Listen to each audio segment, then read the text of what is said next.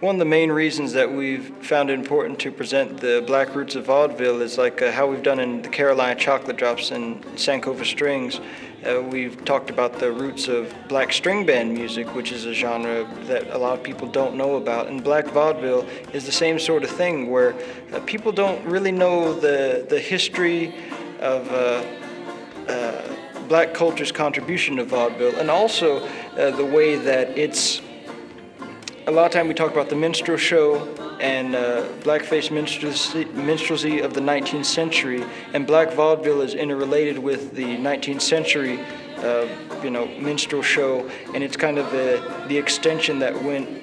past the post, you know, the post-Civil War era and made its way into the, you know, the later part of the 1800s, going into the 1920s. Because a lot of people uh, uh, now seem to be interested in the, the 1920s uh, blues and country music, and the black vaudeville circuit